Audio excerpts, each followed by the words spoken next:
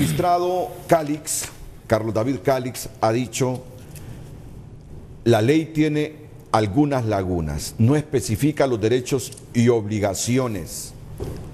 no tiene claro el tipo de infracciones para un despido y el proceso sancionador.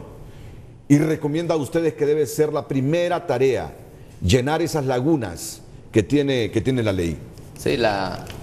el punto de la reunión inicial que vamos a tratar es redactar los reglamentos que van a regir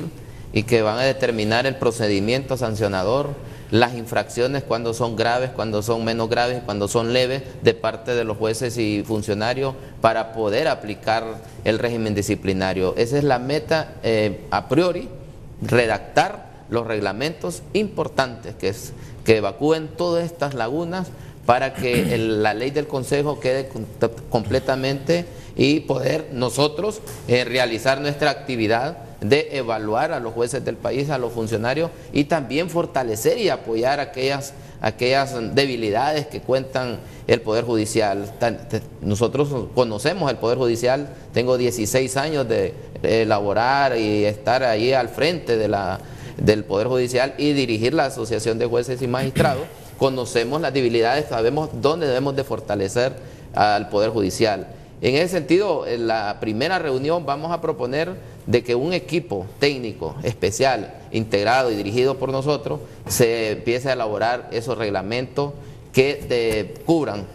eliminen todas esas lagunas y los procedimientos más importantes para otorgar los derechos, las obligaciones a los funcionarios y especificar el régimen disciplinario.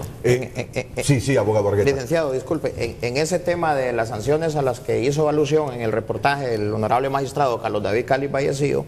si nosotros vemos a la ley del Consejo de la Judicatura y la carrera judicial, estableceremos en el literal J del artículo 3 que eh, una de las atribuciones del Consejo de la Judicatura es precisamente elaborar y aprobar los reglamentos que sean necesarios para el cumplimiento de sus atribuciones. Y, y si abundamos aún más en dicha ley, en el artículo 17, encontraremos que la eh, estructura organizativa y funciones de los órganos dependientes del Consejo de la Judicatura se establecerá por este a través de los correspondientes reglamentos. Y abundando aún más en el tema, el artículo 62 y subsiguientes, en la subsección, subsección tercera de la responsabilidad disciplinaria, establece que las faltas en que pueden incurrir los funcionarios judiciales o administrativos se clasifican en graves, menos graves y leves. Y entonces ahí se establece en los reglamentos y a partir del artículo 62 de la ley de la judicatura y la carrera judicial que se deberá especificar, normar cuáles son las faltas en concreto que eh, ingresan a la categoría de graves, cuáles a la categoría de menos graves y cuáles a la categoría de leves y cuáles son las sanciones a imponer en ese tipo de casos. Así es de que los artículos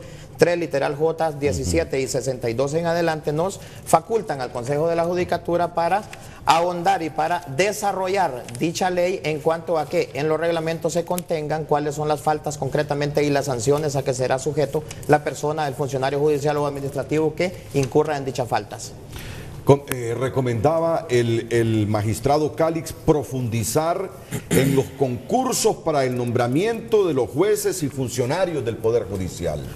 Así es, eh, este tema es fundamental. El tema de los concursos, la ley del Consejo de la Judicatura establece que eh, el Consejo de la Judicatura, previo a la contratación de eh, jueces y magistrados, deberá someter las plazas vacantes a un concurso. Concurso que deberá estar estructurado en distintas fases. La fase curricular, la fase psicométrica, la fase de la investigación laboral y patrimonial y también la fase de conocimientos. Entonces eh, nosotros hemos eh, conversado con los otros miembros del Consejo y estimamos que en los reglamentos debería de establecerse no solamente este tipo de eh, estas fases, sino también que se ampliara las fases a la investigación patrimonial de los miembros del núcleo familiar del aspirante a,